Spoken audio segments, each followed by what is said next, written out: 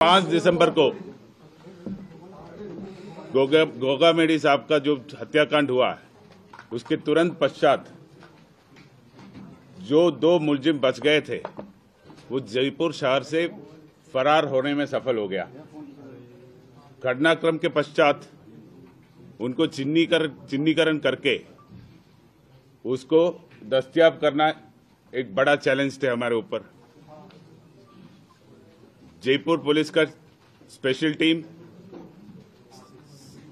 Police आयुक्तालय का special team, Jaipur आयुक्तालय का साइबर सेल।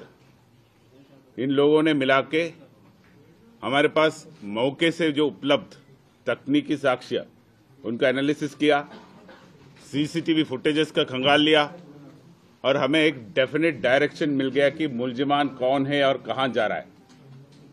मौके से जो बरामद किया जो स्कॉर्पियो वाहन जिसमें वो हत्यारे आए थे, उसके बारे में भी हम जाँच पड़ताल किया, उससे भी कुछ क्लूस मिला।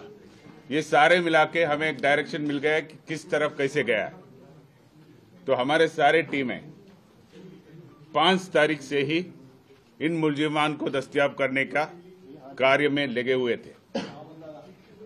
दो तीन दिन तक हमारा काम चलते रहा, लेकिन हमेशा हमारे टीम करीब मुलजिमान से छह से आठ घंटे पीछे रहा। इस बीच में एसआईटी के पास एक अहम सूचना आ गया कि मुलजिमान डीडवाना में देखा गया है। उस सूचना को और डेवलप किया और हमारा स्पेशल टीम जो है, उनको कुछ मुखबिरों से कुछ सूचना मिला जो इनको आगे प्रोटेक्शन दे रहा है। तो जो मुलजमान को पकड़ने के साथ साथ हमारा टीम्स यहाँ जयपुर शहर में, जयपुर शहर के अंदर इसको कैसे फैसिलिटेशन किया, कैसे सुविधाएँ दिया कौन कौन इसमें शामिल थे क्या क्या सुविधाएँ दिया, कहाँ उसको रुकवाया, कहाँ उसको खाना खिलाया, ये सारे चीज़ भी इन्वेस्टिगेट कर रहा था। तो उसमें भी जो व्यक्ति और जो परिसर यूज़ में हो गया कहाँ प्रतिदिन वो रुके थे, कहाँ कहाँ घूम लिया, कौन कौन वाहन यूज़ किया, ये सारे चीज़ हमारे रिकॉर्ड में आ गया। तो एक साइड में ये जयपुर शहर का जो व्यवस्थाएँ के बारे में पूरा डिटेल ले लिया और दूसरे तरफ़ फ़ील्ड में जो दो फरार हो गया, उसको पकड़ने का काम भी जारी रहा। डीडवाना के बाद हमें सूचना मिला कि डीडवाना से आगे ये दारूहेड़ा गया, दारूहेड़ा से ये आगे हिस्सार गया। ये हिस्सार गया करके हमें जो सूचना उपलब्ध कराने में हरियाणा पुलिस का भी काफ़ी अच्छा महत्वपूर्ण भूमिका रहा। हरियाणा पुलिस की सूचना के आधार पर हम हिस्सार पहुँच गया। उस दौरान हमने कुछ इन्फॉर्मेशन पंजाब पुलिस से भी शेयर किया। पंजाब पुलिस ने भी हमें इनपुट्स देते रहा। हिस्सार पहुँचने के बाद दिल्ली पुलिस का स्पेशल टीम हमारे साथ जुड़ गया और हिस्सार से आगे जो भी कार्रवाई हुआ राजस्थान पुलिस और दिल्ली पुलिस का संयुक्त रूप का कार्रवाई हुआ।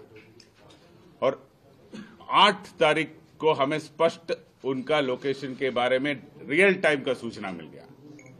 और उसके फलस्वरूप कल नौ तारीख को जो दो शूटर्स थे और उनको जो व्यवस्था करा रहा था लॉजिस्टिकल असिस्टेंस दे रहा था, उनको हम चंडीगढ़ सेक्टर 22 में एक होटल के बाहर से दस्तयाब किया।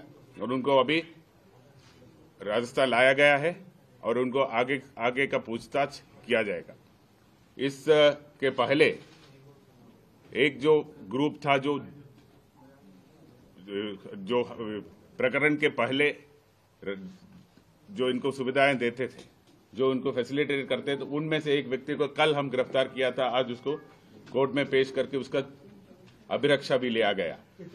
इसके इसके बाद दूसरा एक ग्रुप और थे, जो इसको और कोई व्यवस्था करा रहा था वेपन्स उपलब्ध करा रहा था, उस ग्रुप के बारे में भी हमें जानकारी प्राप्त हो गया, वो वो मॉड्यूल भी हमने क्रैक किया।